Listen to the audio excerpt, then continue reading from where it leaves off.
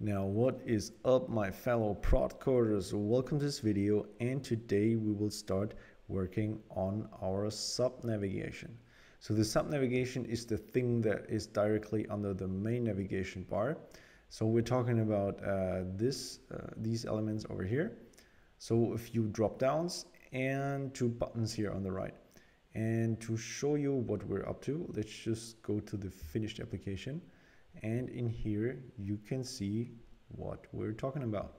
So here are our drop downs right now there's nothing special in there but you know we should just create them so that like our page looks like Yelp's page and that theoretically we could build this mega menu layout that they have as well.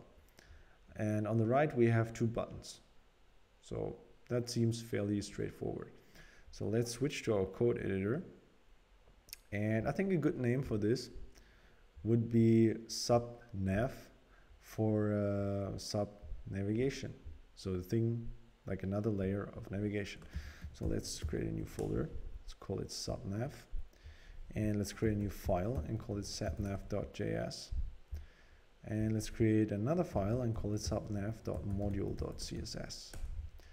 And in here, we will just create an empty uh, component. So we're going to say import React from React and then export function subnav and then we will return a div with subnav so that we have something to show and we also need to wire this one up to our search component of course because uh, because in here we only display the nav bar right now and we want to display the subnav as well. So if we go back to our application, oh, just hold on a second. I just have to kill the finished application and then I need to start this one. And we should see something at least. If we go to search, yes, we see we have this text over here. But of course we don't want a text, we want a proper nav bar. Uh, and one more thing, these elements here, like these drop downs we've just seen, like they're the same over and over again. So let's just create another component for this so that each of these drop downs is its own component. Uh, I think that would be good and it would lead to a nice separation of concerns. So let's go back to our code editor and inside our sub nav, let's create a new folder. Let's call it sub nav item. And then we will create a new file and say sub nav item.js.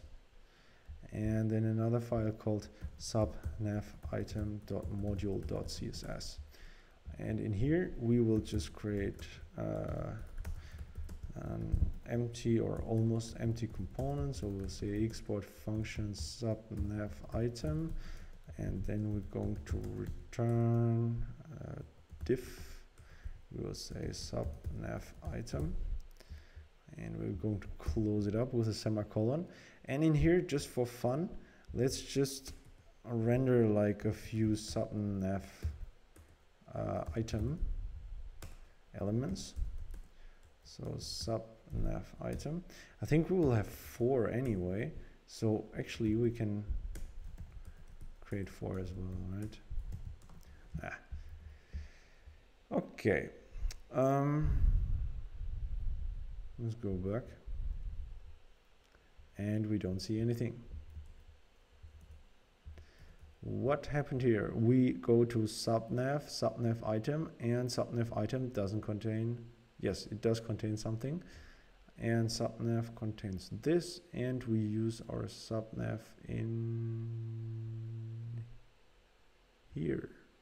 Yes. So why don't we see anything?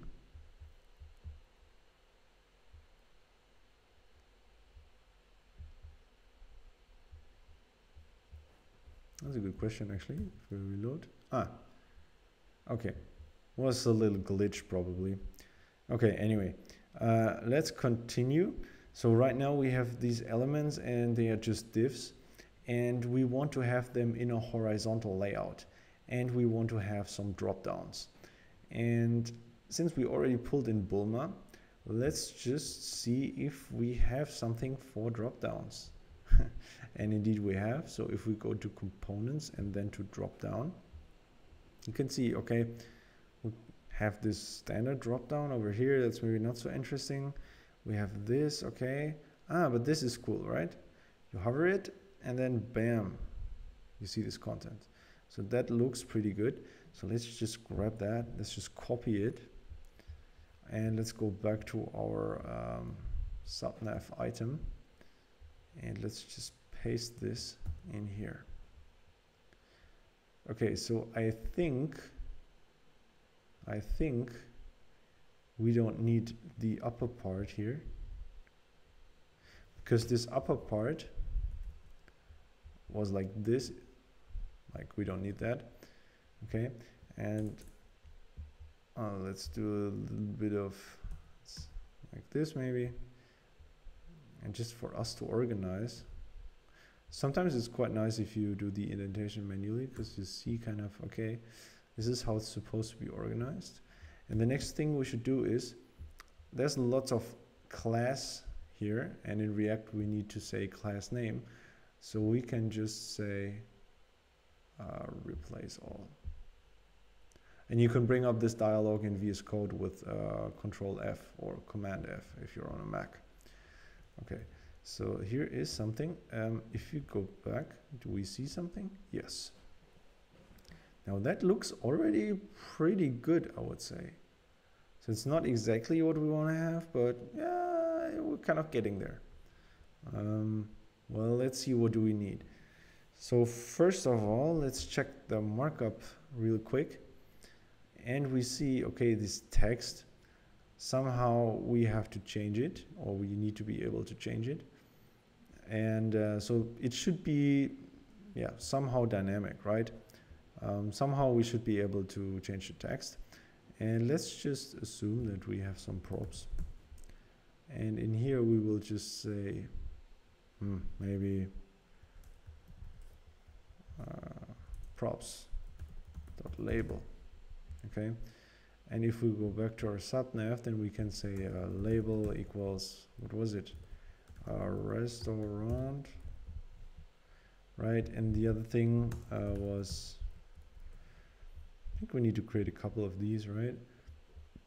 Home services auto services and more okay? Then home services uh, auto services and here more. Cool. So with that yes you see the title is at least dynamic. So that's pretty good. Now one thing though um, we need an icon here. So if you have a look at this one you see oh there's kind of like an icon and we don't have that right now so what do we do? Well, we go back to our uh, code editor. And how did we do the icons? I think we had something in landing page and search suggestions. Ah, yes, we had something here, I think. Yes, so this one, we can just copy this and we can just go in here and then we have the label but before that, we want to, to actually display an icon, I think. Okay. Uh, we don't need this. Does this work if it's inside a button? Because I'm not quite sure if this will work. Yes, it does. Okay, so right now we have an icon, but this icon should also be configurable somehow, right? Because we want a different icon um, for different elements. So let's just, instead of this hard-coded FAS truck, uh, do it like this. We make this an expression. And in here, and then we're going to say here FA truck, and instead of this, we're going to say uh, props dot icon. Okay, and to subnav now we need to pass an icon um, and let's just say fa truck. No let's just say fa utensils. I think we had this um, we had this somewhere right?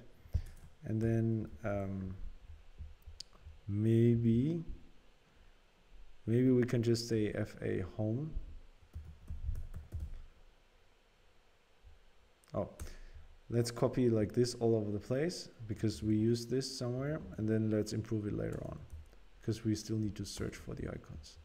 But I already see we're almost hitting the 10 minutes for this video. Oh in fact we already went over it. So let's just leave it here like it is right now and let's just continue in the next video. So thank you very much for watching.